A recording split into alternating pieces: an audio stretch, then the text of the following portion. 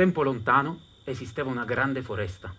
Un tempo così lontano che i bambini andavano a scuola a piedi, in bicicletta o con il carretto, che era pure più divertente.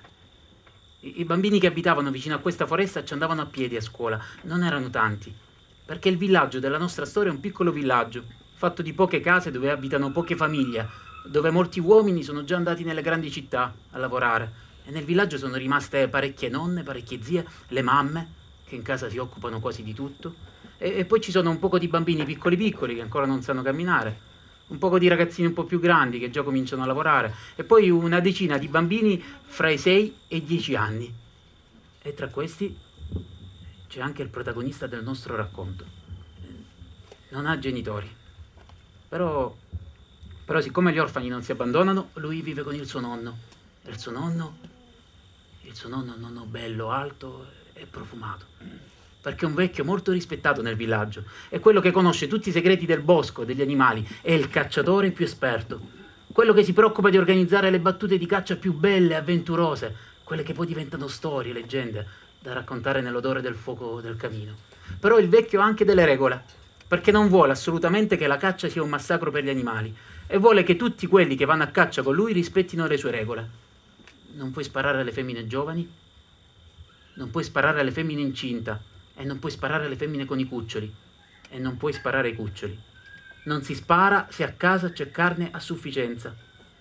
Puoi sparare al massimo due colpi, poi devi rinunciare. E poi nel bosco non si fuma la pipa, non si spezzano rami, non si accendono fuochi, poi non si ruba la frutta e la verdura che si incontra lungo la strada, quella dei contadini. E così il bosco e gli animali si sentono rispettati.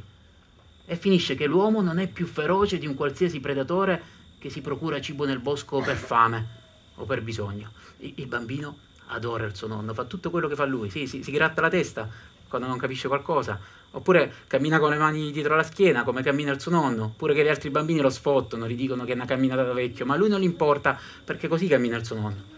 E poi come il suo nonno c'è un difetto, tipo che se dice una cosa e poi si accorge che l'ha detta sbagliata, dice no, bugia, e poi la dice giusta, per...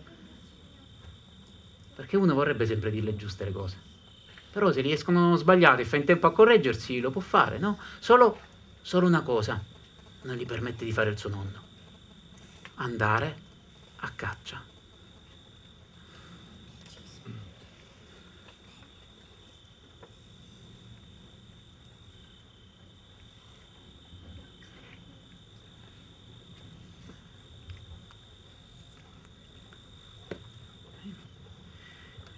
Io ho sette anni quindi sono abbastanza grande per venire a caccia con te. E poi io ho sette anni e vado a scuola, quindi posso venire a caccia con te. E poi a scuola me li insegnano già tutti i segreti del bosco, quindi posso venire a caccia con te. E allora se, se non mi ci porti tu a caccia, io ci vado da solo.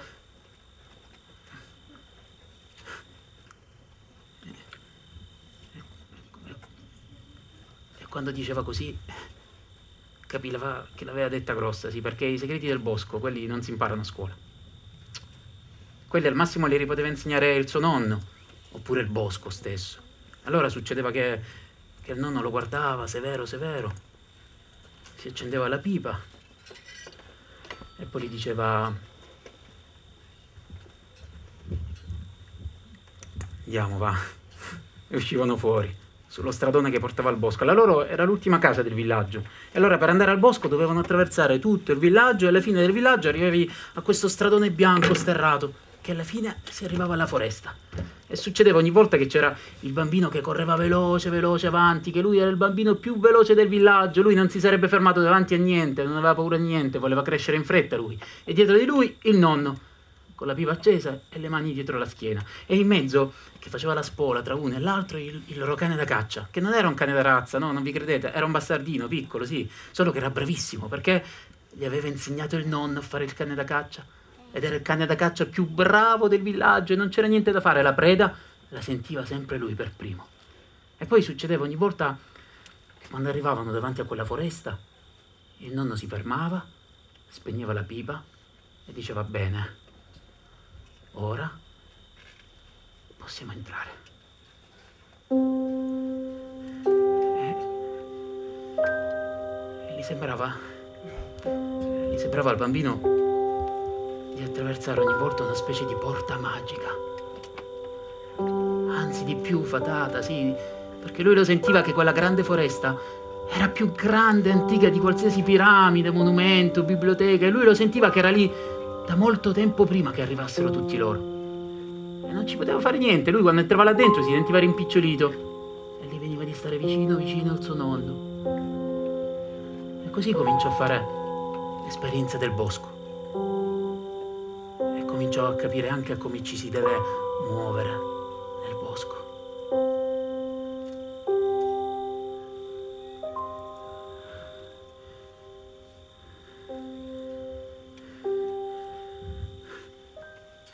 Come si muoveva quel bambino? Dovevate vedere.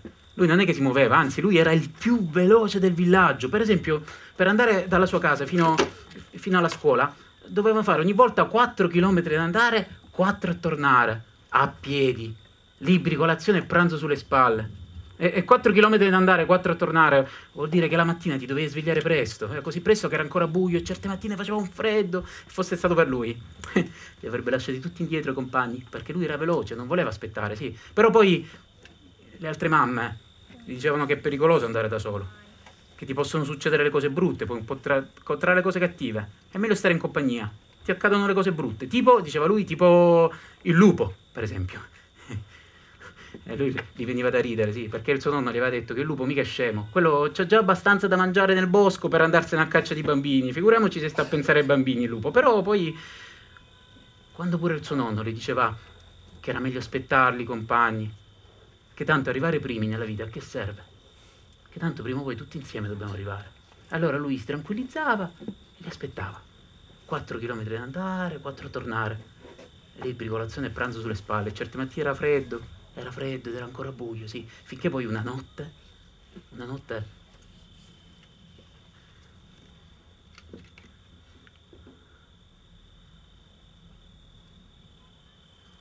cadde la neve, tantissima neve.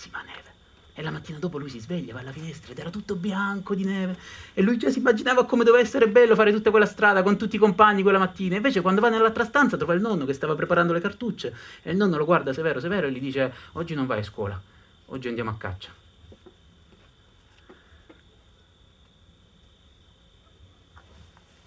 Oggi andiamo Capite? Non aveva detto andiamo al bosco, aveva detto proprio andiamo a caccia. Voleva dire che stava diventando grande, che era arrivato il suo grande giorno. E che, voleva, dire, voleva dire che quella notte, quando si sarebbe coricato, si sarebbe pure sentito un po' più alto, che succede così quando devi crescere. La notte mentre dormi aumenti sempre un po', sì, e quella era la notte giusta. Non capì più niente, fece, fece colazione di fretta con il latte e il pane che si sporcò tutto quanto. Poi, e poi il nonno gli mise i guanti, il berretto, la sciarpa, i doppi calzini che mica ce l'avevano gli scarponcini adatti, quelli della neve, e uscirono fuori per andare verso il bosco. E il nonno lo portò a vedere una zona segreta del bosco che conosceva solo lui, dove c'erano le tane degli animali. Che poi, queste eh, tane degli animali erano erano dei grossi buchi nel terreno, che gli diceva il nonno che là dentro i tassi stavano già dormendo, che l'inverno era arrivato, e che succedeva che c'era un buco da dove si entrava. E poi dall'altra parte c'era sempre un'altra uscita che serviva per ingannare i predatori. E dentro se potevi entrare erano come delle casette, che c'era la stanza dove mettevano le scorte di cibo per l'inverno. I rifiuti no, eh. Quella no, il tasso la fa sempre fuori la cacca, sì, perché è pulito, mica se la porta dentro casa. Eh? E poi c'era l'altra stanzetta dove dormiva il papà, e poi dall'altra parte della tana c'era la stanza dove dormiva la mamma, con i piccoli. E lui si faceva silenzio, gli sembrava quasi quasi di sentirli ronfolare veramente i tassi lì dentro. E secondo me se non ci fosse stato il nonno, ci avrebbe messo pure la mano dentro per vedere se era vero.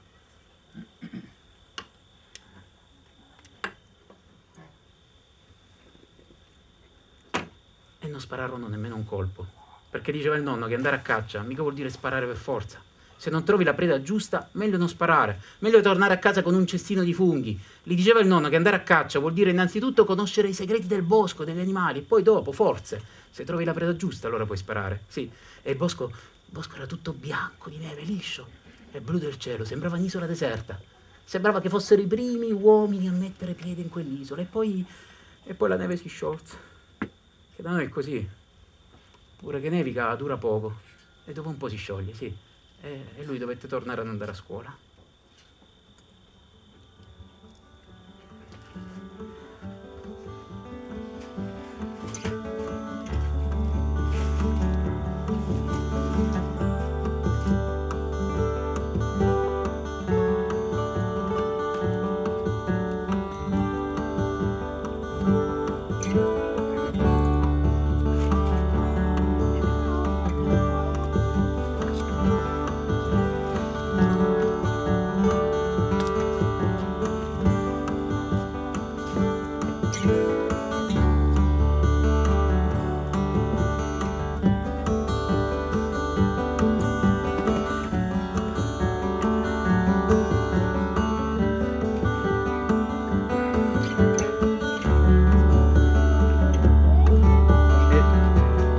Quel giorno cominciò a fare le preghiere un po' con la notte, sì, a Gesù, no? Che facesse cadere un po' di neve, perché se cadeva la neve lui finalmente poteva tornare a caccia col nonno, però andava avanti la primavera e più andava avanti la primavera meno probabilità c'erano che nevicasse, infatti, infatti la seconda volta fu completamente diverso, perché stavolta il nonno glielo disse di sera, gli disse vai a dormire presto, vai a dormire su, che domani si torna a caccia.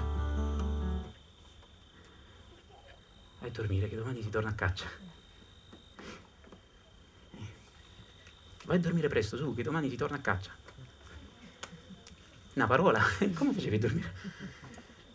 Vai a dormire presto, che domani... Allora, se si metteva a letto, si sentiva tutto il sangue che gli circolava veloce, veloce dentro, che non capiva più niente, sì. Se, se stava in piedi, il nonno lo rimproverava, che le aveva detto vai a dormire presto, che domani si torna a caccia, sì. Non riusciva proprio a stare fermo, con tanto di occhi aperti a letto, sì. Non... come facevi a dormire? Ma mica solo lui, eh, pure il nonno. Pure il nonno lo sentiva che trafficava per tutti i mobiletti, i cassetti dentro casa, che pure lui non riusciva a prendere sonno al pensiero, sì. Perché? Perché la caccia c'è una vigilia. Comincia la sera prima. Eppure che l'hai provata cento volte, la provi ancora, cento volte ancora, sì. Eppure il cane, eh? Pure il cane lo sentiva con tutte le zampe che si muoveva per la casa, che pure lui non riusciva a prendere sonno, sì. E poi, e poi meno male, invece, gli viene in mente una filastrocca. Una filastrocca che le aveva insegnato il nonno per non fare brutti sogni, dopo che era morta la sua mamma. E questa filastrocca faceva così, diceva se, se, sette volte bosco, sette volte prato e poi tutto tornerà come era stato. Sette volte bosco, sette volte prato e poi tutto tornerà come era stato. Sette volte bosco, sette volte prato e poi tutto tornerà come era stato. Sette volte bosco, sette volte prato e poi tutto tornerà come era stato. Sette volte bosco, sette volte prato e poi tutto tornerà come era stato. Sette volte bosco, sette volte prato e poi tutto tornerà come era stato.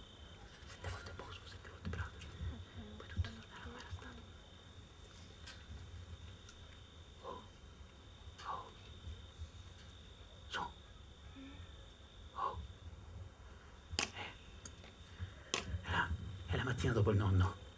Lo svegliò prestissimo, che non c'era ancora il sole. E stavolta c'erano tanti cacciatori, eh? Tutti con i cani da caccia, c'era una bella area di festa. Sì, per loro tutti parlavano a bassa voce, che non bisognava svegliare gli altri bambini, le mogli che dormivano, se no si arrabbiavano, le mogli, no i bambini. Sì. E, e, e, stavolta però il bambino non correva avanti, no? Perché aveva sentito un altro cacciatore che diceva al nonno: Solo a te ti poteva venire in mente di portarti un bambino a caccia. E lui non voleva fargli fare brutte figure e faceva l'ometto. E stava vicino vicino a lui, sì, attaccato quasi. E poi quella mattina, ecco, quando arrivarono davanti a quella grande foresta, dovete immaginare che era, era talmente fitta quella foresta che lui non riusciva proprio a capire in quella luce da quale porto o fessura sarebbero riusciti a entrare. E poi ogni volta succedeva che c'era un cacciatore che la trovava, si infilava e tutti si infilavano da lì. E quando eri dentro la foresta sembrava che non fossero gli uomini a muoversi con le loro gambe, no, ma sembrava che fosse il bosco stesso a prenderseli, sì, con i rami e le foglie, attraverso sentieri che un metro avanti non c'erano e ti chiedevi da dove devo passare. E quando eri passato poi un metro dietro già si chiudevano. Ti... Poi a poco a poco tutti i cacciatori si allontanavano. E lui sentiva i cani che abbaiavano lontano, che forse avevano trovato la preda. E, e fu a quel punto che il cane del nonno cominciò a ringhiare. Ma ringhiare forte? Non aveva mai, visto lui così, con tutti i denti di fuori. Allora il nonno gli fece segno di aspettare, perché voleva andare a vedere che cosa c'era dietro il suo cespuglio dove stava ringhiando il cane. Allora lui aspettò lì e il nonno andava avanti. E c'era sto cespuglio di lentisco, punto il fucile,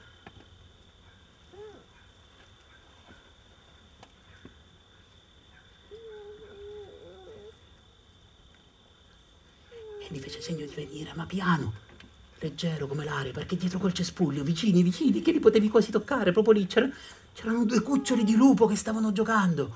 Erano, erano, proprio lì, vicini, come alla fine, lì, come ad arrivare lì. Erano due batuffoli di pelo così, che giocavano, che si inseguivano davanti a loro. E poi ogni tanto uno si metteva con la pancia all'aria e l'altro lo mordeva forte. Se, e se lo mordeva troppo forte, quello di sotto piangeva, allora l'altro lo leccava, che sembrava che gli voleva chiedere quasi scusa. E, e il nonno abbassò il fucile. Il cane pure smise di ringhiare, perché una regola era chiara per tutti. I cuccioli non si toccano. Eppure lui stette lì a guardarsi questo spettacolo meraviglioso che succedeva lì, con, con, con una mano del nonno che riteneva la maglietta, perché se no lo conosceva il nonno, lui avrebbe scavalcato e sarebbe andato a giocare insieme ai lupi e quelli se ne sarebbero scappati. E l'altra mano del nonno che gli chiudeva la bocca, perché sennò avrebbe cominciato a fare mille, mille domande, i lupi avrebbero sentito e sarebbero andati via. E la mano del nonno quella mattina aveva un odore di pipa e di polvere da sparo che per lui da quel giorno diventò l'odore dei lupi. E poi si sentì un ululato, i lupi si fermarono e scomparvero.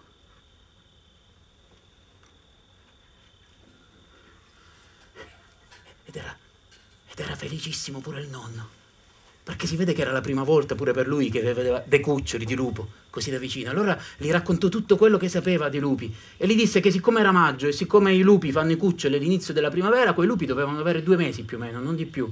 E gli disse pure che si vede che la loro tana era lì vicino e che erano usciti fuori per esplorare che cosa c'era fuori dalla loro tana e, e che l'ululato che si era sentito doveva essere il loro papà o qualche altro lupo che si era allontanato per procurarsi il cibo.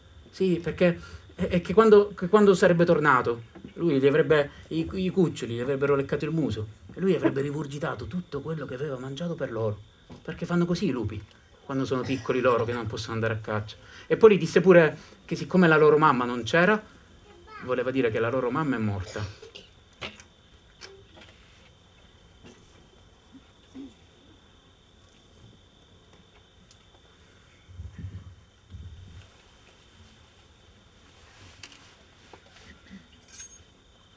Ma tu avevi detto che non si possono uccidere le femmine con i cuccioli.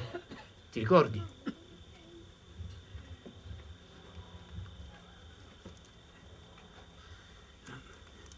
Non è detto che sia stata uccisa. Potrebbe essere stato un altro animale, o magari è morta di parto. E poi non tutti i cacciatori rispettano le mie regole. Tu non ti preoccupare, hai sentito? C'è il loro papà, un altro lupo che si sta prendendo cura di loro. Tu non ti preoccupare, perché fanno così i lupi. Gli orfani non si abbandonano, vedrai.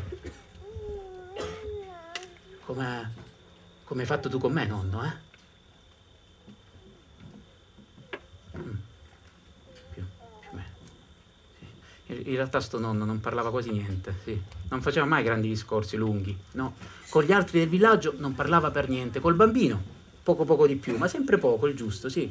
Perché era uno di quei nonni burberi, quelli che si lamentano sempre, sì, quelli che sono sempre un po' un po' da un'altra parte, sì. E, e, era il nonno, al nonno non gli piaceva che per esempio tutti gli uomini del villaggio erano andati via e il villaggio si stava svuotando perché andavano a lavorare nelle industrie delle grandi città. E al nonno non gli piaceva che avevano cominciato a tagliare un pezzo di bosco per costruire la ferrovia perché diceva che doveva passare da lì, da dove volete che passi se no? Al nonno non gli piaceva questo. Non si riconosceva in tutto questo di nuovo che stava arrivando. E lui, per lui, meno male che c'era quella foresta, che era così misteriosa e piena di vita poi, e poi arrivò l'estate. E da noi l'estate i boschi stanno fermi fermi, non crescono molto perché piove, poco. E poi arrivò la stagione dei fioroni che poi diventano fichi, e poi le albicocche, le susine, e poi le pere, quelle buone, piccole dall'albero, come se le mangiava il bambino, sì. E poi quando sentivi nell'aria l'odore dell'uva capivi, capivi due cose. Uno, che stava per ricominciare la scuola. E due, che ritornava a piovere, si svegliava la terra e si poteva tornare a caccia. Infatti, infatti successe di nuovo di sera, che il nonno gli disse vai a dormire presto, che domani si torna a caccia. Vai a dormire presto, che domani si torna a caccia. Vai a dormire presto, che domani si torna a caccia. Sette, sette, sette volte bosco, sette volte prato e poi tutto tornerà come era stato. Sette volte bosco, sette volte prato e poi tutto tornerà come era stato. Sette volte bosco, sette volte prato e poi tutto tornerà come era stato. Sette volte bosco, sette volte prato e poi tutto tornerà come era stato.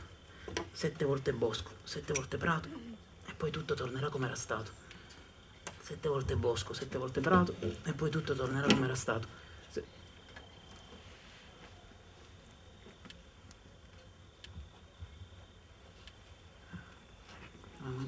Quando vide la prima volpe morta quella mattina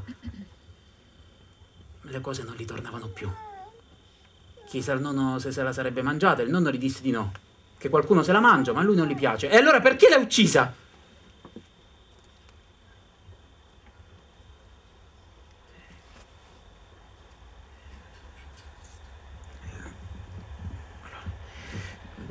Ehm, lo sai quante lepri uccide una volpe in un inverno 30?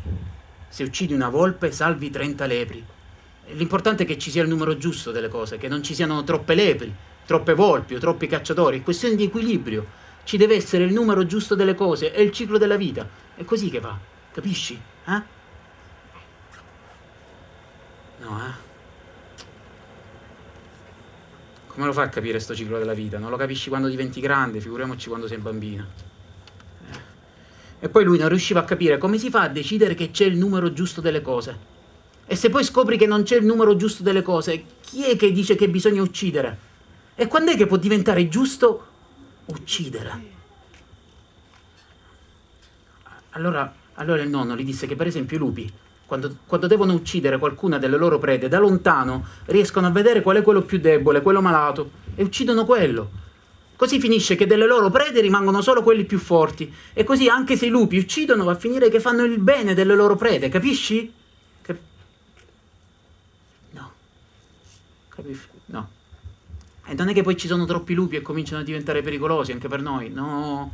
I lupi sono sempre di meno e vivono sempre più nascosti, stai tranquillo. E poi ci sono io col fucile. E, e, i lupi. E i lupi che abbiamo visto noi la scorsa primavera? Come saranno diventati ora?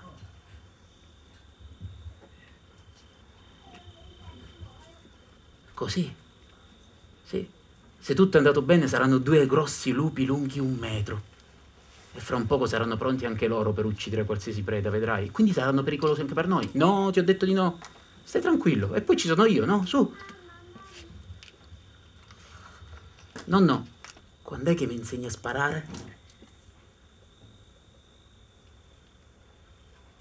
E il nonno gli disse che non era ancora il momento, che sarebbe arrivato, ma che non era ancora il momento. E invece arrivò l'inverno. E con l'inverno tornarono le preghiere a Gesù che facesse cadere per favore un poco di neve, così chiudono la scuola e io posso tornare a caccia con il nonno. E Gesù lo ascoltò. Notte di febbraio questa volta. Tantissima neve, tutto bianco dopo la finestra. E lui già sapeva che cosa gli doveva dire il nonno. Va nell'altra stanza, trova il nonno che preparava le cartucce. Il nonno riprende la faccia così. E nell'odore del lupo gli dice: Oggi sparerai.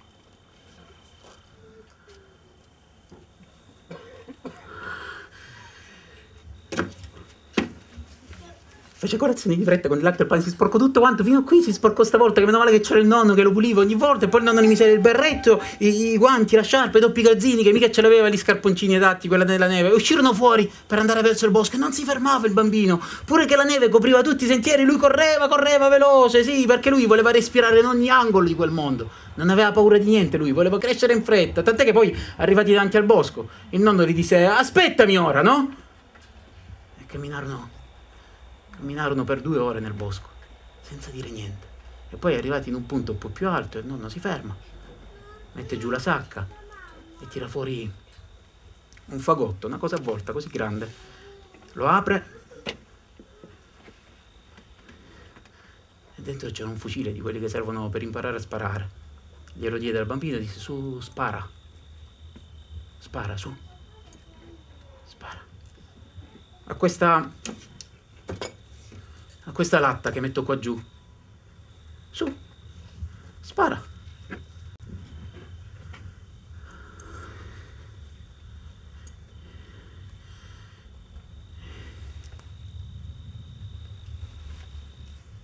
Ora dovete sapere che lui pensava che per tenere la mira ferma bisognava stringersi forte forte come un riccio, sì, tutto chiuso. Allora cominciò a stringere forte, no? Dalla punta dei piedi, su, le gambe, le cosce, il culetto stretto, strettissimo, che gli faceva quasi male, la pancia, tutto, le mani, tutto stretto, e pure gli occhi li doveva stringere, però un po' doveva stringere gli occhi, un po' li doveva tenere pure aperti, se no la latta mica la vedeva. Allora faceva un po' che stringeva, un po' che apriva, no? Un po' stringeva, un po' apriva, un po' stringeva, un po' apriva, un po' stringeva, un po'... E quando era tutto stretto, stretto, che sembrava un arco teso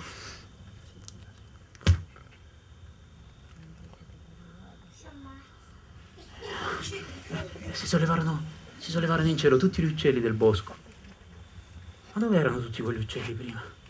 Sembrava che si fossero svegliati allora. E a lui ad occhi chiusi gli sembrava che fossero così tanti, che si stessero portando in cielo tutto il bosco. E quando tutto il bosco tornò a posarsi, lui aprì gli occhi e la latta era ancora lì. Riprova Riprova, disse il nonno, però questa volta piano, concentrati, sì, concentrati sulla sensazione del fucile sulla spalla, sul dito, sul grilletto, sugli occhi, sul naso, sul respiro. Segui la canna del fucile e poi cerca di riempire la distanza. Così gli disse, cerca di riempire la distanza. E lui si concentrò sulle cose del nonno, però un po' stringeva, come sapeva fare lui, quella era una tecnica tutta sua, sì, e cominciò a stringere forti, no, il culetto tutto stretto, stretti, quando era tutto stretto, un po', un po' stringeva, un po' prima, un po' stringeva, un po' prima.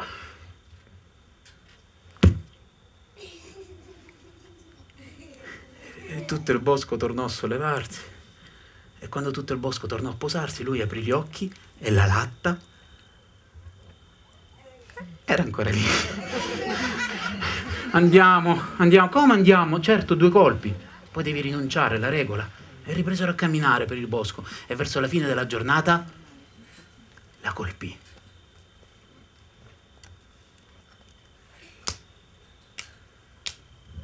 Fu, fu quella primavera più tardi che videro i lupi per la seconda volta. Ma questa volta fu diverso perché i lupi erano grandi e facevano paura. E il cane non smise di ringhiare. E poi stavolta non erano dietro un cespuglio, stavolta erano lì, come se fossero stati sempre lì contro il bosco. Loro semplicemente passarono e li videro. E ce n'era prima, prima uno magro, che sembrava debole, molto debole. Sembrava che zoppicasse parecchio. E poi un altro, un altro più forte, più robusto questo, molto più forte. E questo aveva una preda in bocca, una lepre sembrava, e si misero a mangiare insieme. E quando ebbero finito di mangiare, scomparvero ma in silenzio, senza muovere foglia, come due fantasmi, come, come, due grossi pesci che per un attimo si sono fatti vedere sulla superficie di un lago e poi sono scomparsi giù, in profondità. Hai visto? Hai visto che bellezza? Hai visto che creature meravigliose? Hai visto c'è quello zoppo che evidentemente non riesce a procurarsi il cibo da solo. Allora c'è l'altro sano che si prende cura di lui perché sono così i lupi. Se c'è uno in difficoltà non viene mai lasciato indietro dagli altri, fanno così. Sono come gli uomini, no bugia, non sono per niente come gli uomini, tutt'altra cosa. Però c'è da sperare che quello zoppo non abbia la zampa spezzata, perché anche se c'è l'altro non ce la può fare da sola se la sua zampa è spezzata. No, no, ma forse sono i lupi che abbiamo visto noi la scorsa primavera.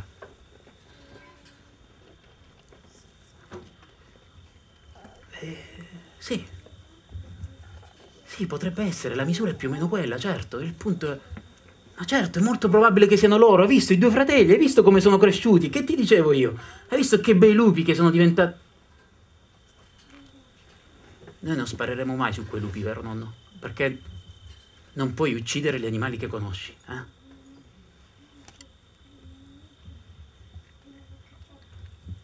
Il nonno non ce l'aveva sta regola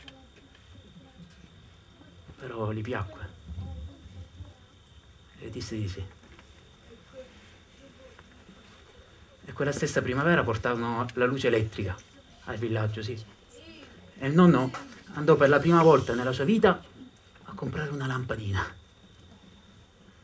Era bella la luce elettrica, sì. Eh? Non era mica come le candele, no? Era calda, luminosa, faceva un sacco di luce e la potevi avere ogni volta che volevi. Ma loro in realtà di sta luce elettrica non gliene importava molto, no. A loro gli interessava solo di poter tornare a caccia tutte le volte che volevano, anche perché era diventato bravo il bambino, eh? Sì, e la latta lo colpiva al primo colpo e sapevano entrambi che stava per arrivare il momento in cui avrebbero dovuto sparare su un animale vero. E il primo animale vero fu... fu una lepre. La videro un giorno nell'erba che spuntavano le orecchie per primo se ne accorse il cane che cominciò a inseguirla e il bambino chiese al nonno se non dovevano inseguirla pure loro e il nonno gli disse di no, che la lepre torna sempre verso la sua tana. Allora aspettarono lì e la lepre e il cane scomparvero nel bosco che non si sentivano più e poi a poco a poco cominciarono a rimergere. E quando vedevano che correva verso di loro il nonno disse al bambino figliolo se ti senti pronto per togliere la vita ad un animale, questo è il momento. E lui prese il fucile. Si ricordò delle parole del nonno degli occhi, del naso, del respiro, della distanza. Però strinse pure un po', come sapeva fare lui. Un po' stringeva, un po' prima. E quando era tutto stretto, stretto, che sembrava, che sembrava un arco teso,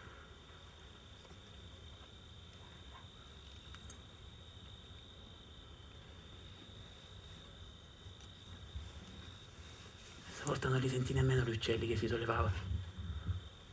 Perché comincia a girarli forte tutto quanto se non c'era il nonno che lo teneva sarebbe pure caduto a terra.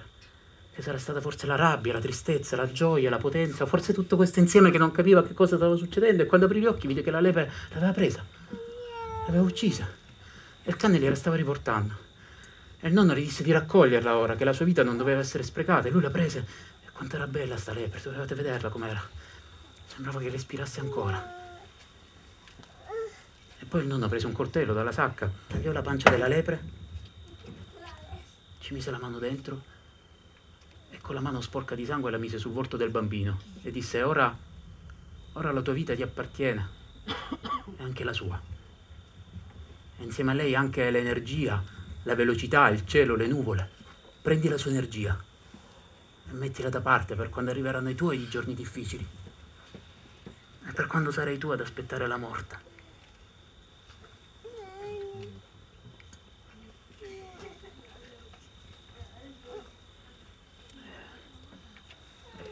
Quel sangue era caldo. E il bambino gli veniva un po' da piangere.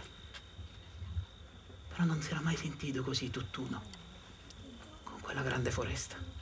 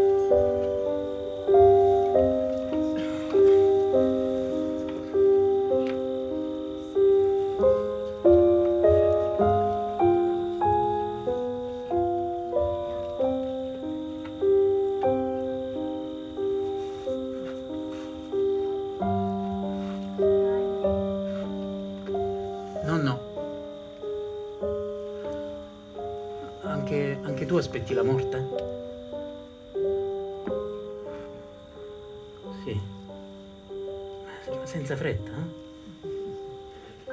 E dove, e dove vorrai aspettarla la morte, nonno? Eh? Nella grande foresta.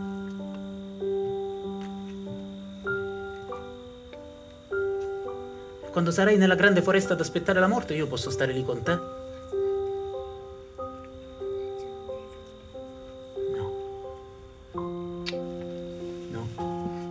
la morte uno si trova, trova sempre da solo alla fine. Tu non ci pensare, su, che so sti discorsi ora, pensa a crescere, che c'è tempo, su, pensa alla tua vita tu.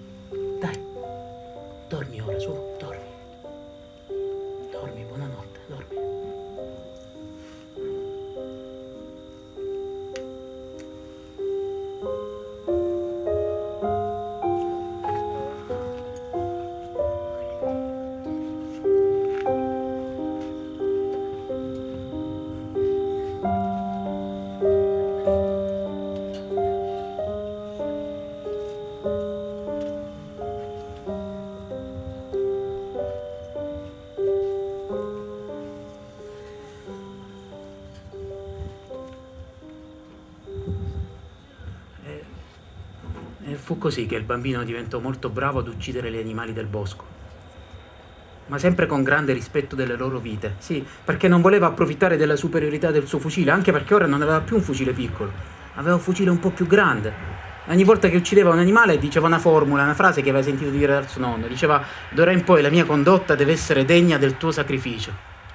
Poi certe volte tornavano a casa con fagiani, beccacce, lepri, altre volte senza niente, col solito cestino di funghi che mica bisogna sparare sempre ogni volta per forza, no. Se non trovi la preda giusta, meglio non sparare. E poi il bambino si muoveva un po' più lontano dal suo nonno ora.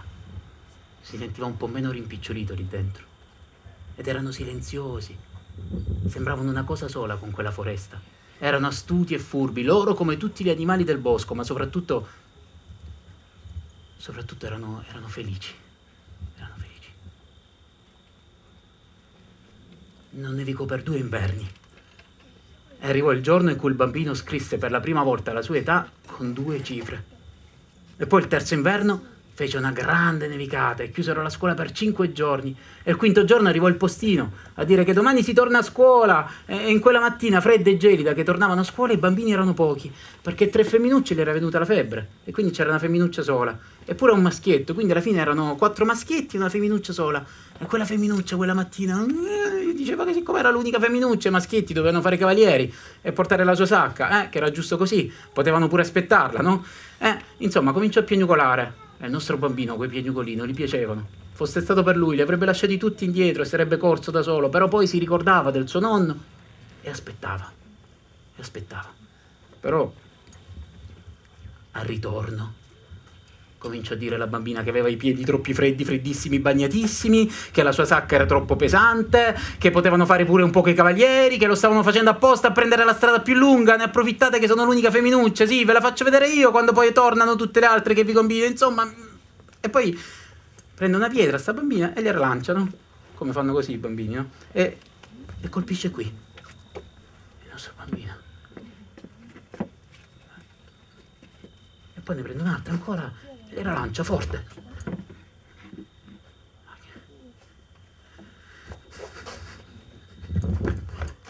Oh.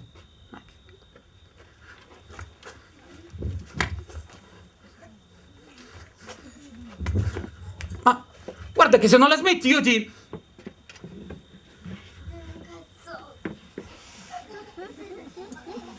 Io me ne vado da solo, che tanto io non ho paura. E se ne va da solo questa strada del bosco, rimane da solo. E siete compagni che diventano sempre più piccoli dietro. E li sente che forse litigano ancora, che si lanciano ancora le pietre. E lui rimane da solo in questa strada che costeggiava il bosco, la prima volta. E c'era un silenzio. Sentiva solo il rumore del suo fiato, forte, sì. E, il rumore dei piedi che rompevano il ghiaccio al bordo della strada. E fu a quel punto che sentì un ululato.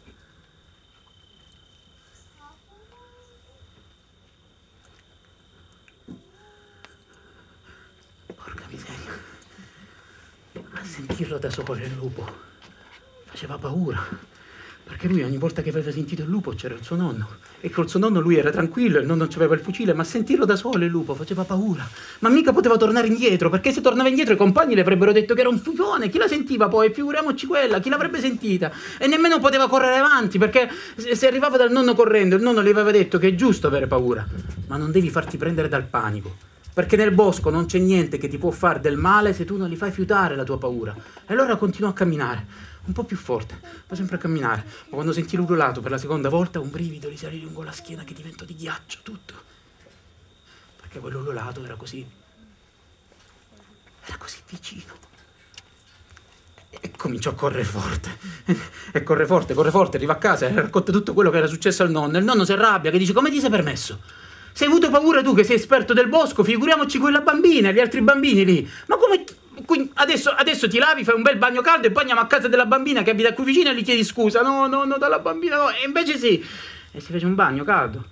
Mangiarono una cosa e poi andarono a casa della bambina che abitava lì dietro. Quando arrivarono a casa della bambina videro che la bambina non era tornata.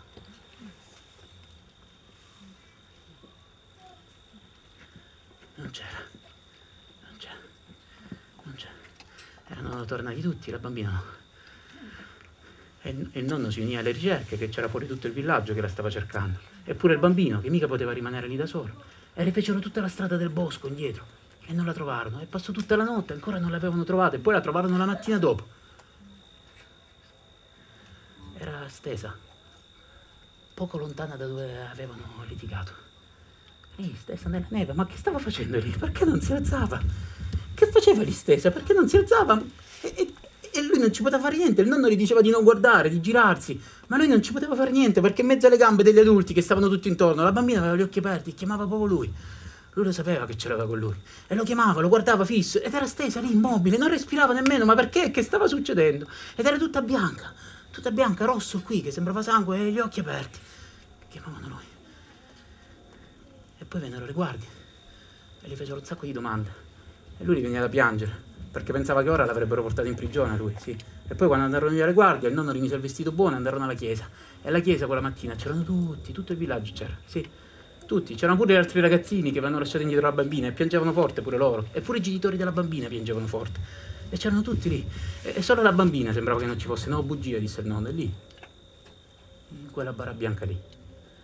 E nella chiesa c'era un odore così forte di fiori che non gli venne un mal di pancia. Qui gli sembrava che un pugno gli stesse tirando la pancia dentro. E meno male che c'era il suo nonno invece che era profumato. Era bello, alto e profumato il suo nonno. E lui stava lì stretto stretto vicino al suo nonno, che a me non sentiva quell'odore brutto di fiori, sentiva solo l'odore del nonno che si era fatto la barba e sapeva di fresco, sì.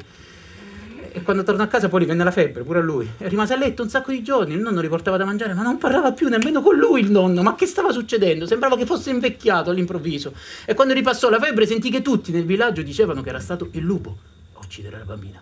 Ma certo, dopo tanti giorni di freddo ha trovato la disperazione giusta per attaccare la più debole delle sue prede, una bambina in difesa, ma certo, è stato lui, non è stato quello zoppo, è stato l'altro, l'altro, quello forte e robusto, quello si deve procurare cibo per due, era disperato dopo cinque giorni di neve, è stato lui, ma certo, hai sentito che è successo, le pecore, le hanno trovate tutte uccise, hanno seguito le impronte, andavano nel bosco, erano impronte di lupo, due lupi, ma non quello zoppo, l'altro è stato, quello forte e robusto, io lo dicevo, bisognava abbatterli subito quei lupi, io lo dicevo, che cosa dobbiamo fare ora, nonno?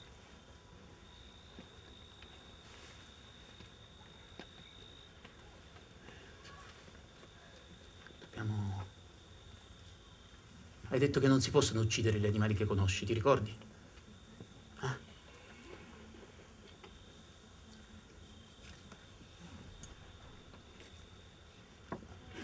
Imparerai. Imparerai che il bosco non è solo felicità.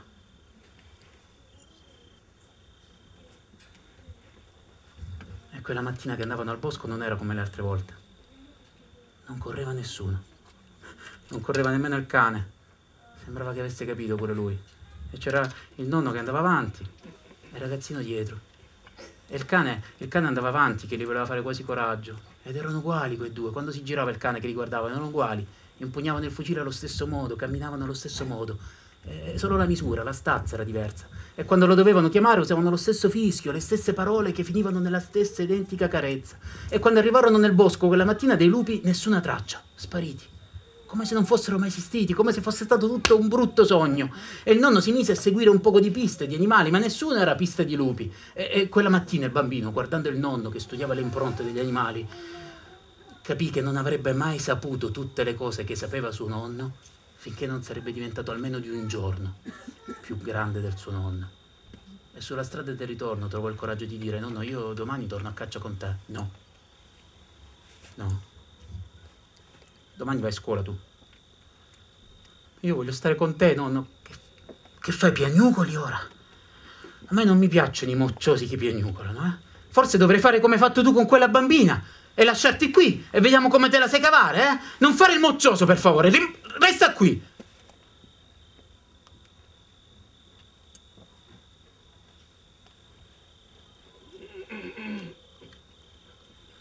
Io non piagnucolo.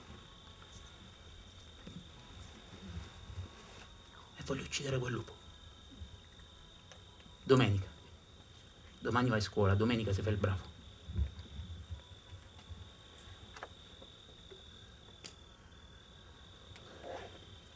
E quella domenica di lupo trovarono quello zoppo. All'inizio del sentiero che facevano sempre per entrare dalla porta, sì. Era lì, respirava appena. Il cane ringhiò un po', ma poi vide che non c'era bisogno. Sembrava che si fosse messo apposta lì all'ingresso. Come a dire, su, Avete trovato me? Uccidete me, su, e lasciatelo stare l'altro. Che aspettate? Su, chiudiamola qui questa storia, su, sparate! E, e il nonno gli disse di voltarsi. Lui disse, perché? Voltati, ti ho detto!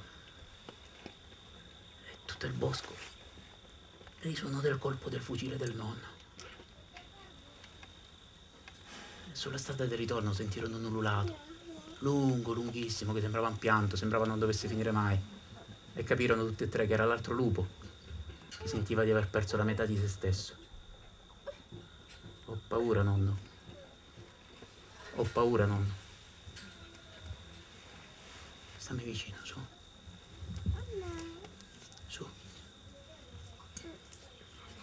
Stai qui.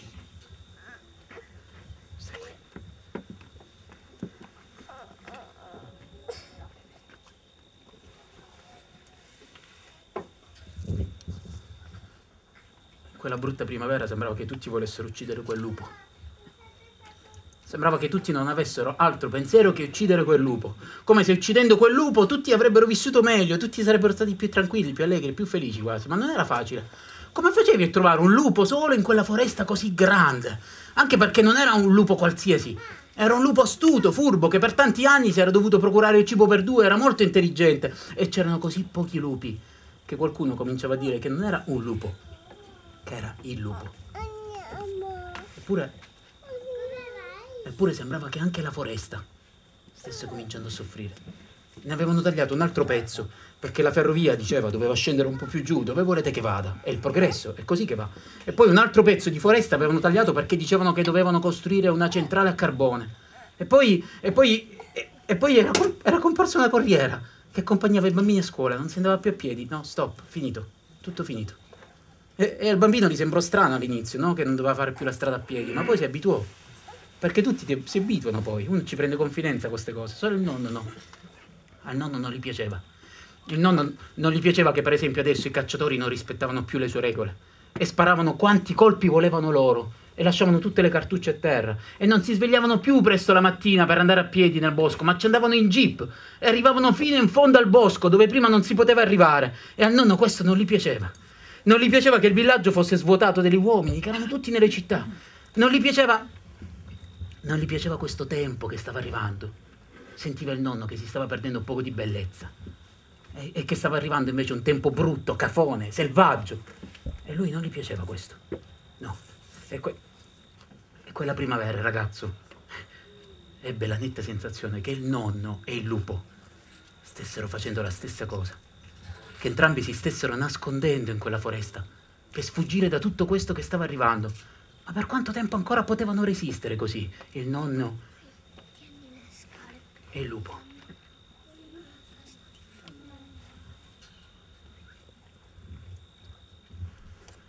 E fu una mattina di maggio che se lo trovarono di fronte. Cento metri, forse di meno pure. Era lui, era lui, non c'era dubbio. L'avevano trovato seguendo una pista che aveva lasciato nel fango di primavera, morbido, e poi una lepre appena uccisa. Era lui, forse era stanco pure lui, forse si voleva far trovare. E per primo se ne accorse il cane, che cominciò a ringhiare. E poi, e, e, poi il ragazzo, e poi il nonno. E quando il nonno vide che il ragazzo aveva puntato il fucile, capirono che sarebbe toccato al ragazzo riempire con l'ultima distanza. E il ragazzo cominciò e si concentrò sulle cose del nonno. E stavolta non strinse per niente. Si concentrò su, sulla sensazione del fucile sulla spalla, sul dito, sul grilletto, sugli occhi, sul naso, sul respiro, sulla canna e poi sulla distanza. Cominciò a riempire la distanza. E per riempire questa distanza ci mise dentro, ci mise dentro quella mattina di maggio che avevano visto i lupi la prima volta quella mattina che era uguale a queste mattine. Sì, e, e, ci mise dentro pure la latta, la latta che non cadeva mai. E, e, tutte le notti, tutte le notti che non era riuscito a dormire col pensiero che il giorno dopo doveva andare a caccia. E ci mise dentro pure quella volta della neve, quella volta della neve che il bosco sembrava un'isola deserta. Sì, due colpi, poi devi rinunciare, pure che solo da latta. E poi ci mise dentro pure quella maledetta mattina che aveva lasciato la bambina indietro. Che stupido che era stato. Ma perché l'aveva fatto? Se poteva tornare indietro sarebbe passato così poco e, e non sarebbe successo tutto questo. E davvero, davvero gli sembrava che più riempiva questa distanza, più poteva davvero tornare indietro nel tempo. Allora, allora per sette volte la riempì.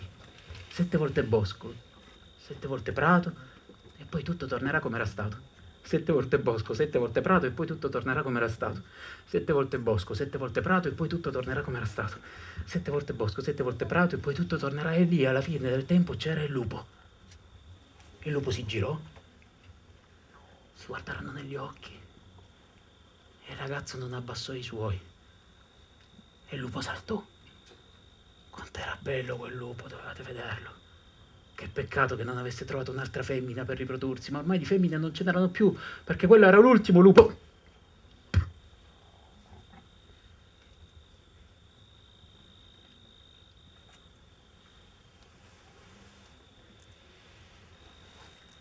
Il cane, quel ragazzo, quel nonno, non c'era. Forse l'aveva mancato, no? Bugie lì. Dietro il cespuglio. Colpito. E il nonno non fece in tempo a fermare il ragazzo. Il ragazzo si stese lì, di fronte al lupo, occhi negli occhi. e si mise a guardare il lupo così da vicino e gli sembrava che a guardare quegli occhi da vicino gli sembrava che fossero uguali a quelli di quella bambina quella mattina e gli sembrava che queste due vite che se ne andavano avevano qualcosa in comune dentro, qualcosa di profondo e che comunque avessero un senso lì in fondo. E poi, e poi nell'odore a stare così vicino al lupo, sentiva il suo odore forte, acre, caldo del lupo e capì che quello che aveva creduto essere l'odore del lupo per tutta la sua vita in realtà non c'entrava niente e che uccidere quel lupo non gli sarebbe passato il mal di pancia e che non si può tornare indietro e che mai si può tornare indietro. Allora appoggiò il fucile per terra e non poteva sapere che quelli erano stati gli ultimi due colpi che avrebbe sparato in tutta la sua vita. E poi prese un coltello, scorzò il lupo e ci mise le mani dentro.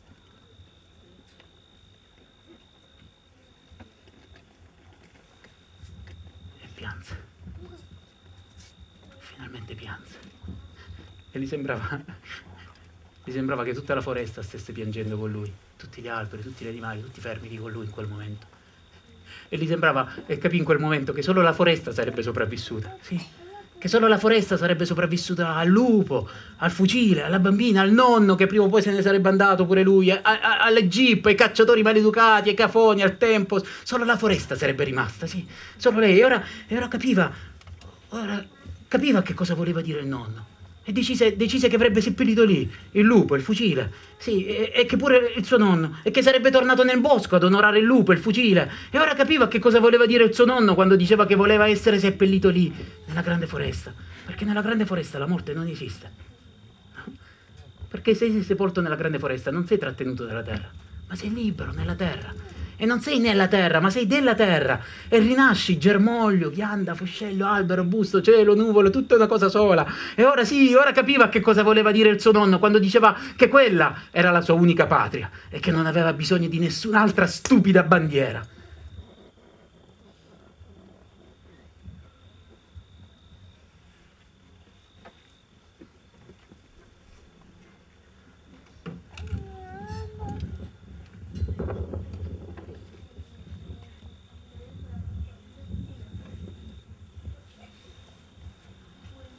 Quello, quello fu l'ultimo lupo ucciso nelle nostre terre. E questa è la storia del ragazzo che lo uccise. Poi è cresciuto quel ragazzo, è diventato grande pure lui, è diventato un vecchio nonno solitario ogni tanto racconta ai suoi nipoti della latta che non cadeva mai.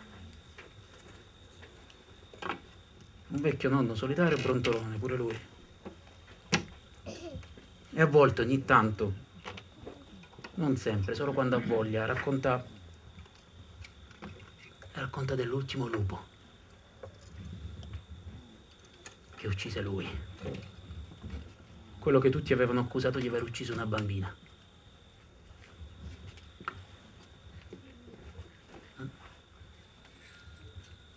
Non era stato il lupo. Perché?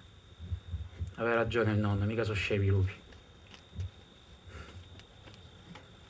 Forse una pietra. Forse si era solo persa, no? E poi ci faceva freddo. E lei era rimasta lì.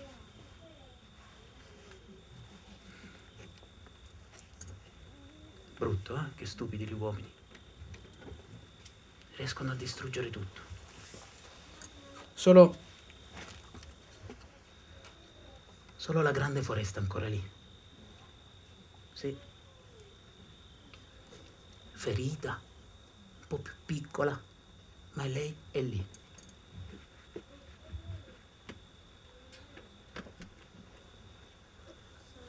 È lì che aspetta. Sì. Aspetta il giorno in cui, piano piano, lentamente, ricominciare a crescere. Forse nella mia foresta parlano tanto. Forse nella mia foresta le scarpe non si sporcano di fango. I lupi di foreste sono pieni Oğlum ben volunteering Somebody